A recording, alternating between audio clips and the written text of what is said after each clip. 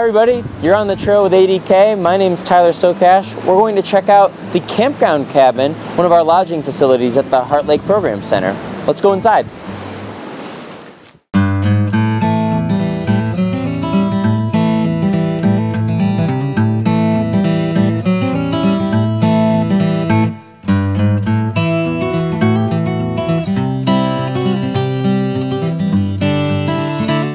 The campground cabin is another great spot to set up your base camp for your next Adirondack adventure.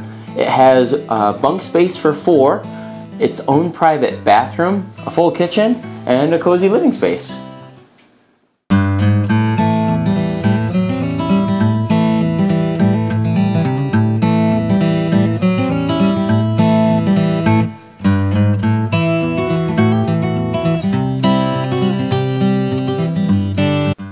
You can make your reservation for the campground cabin at adk.org.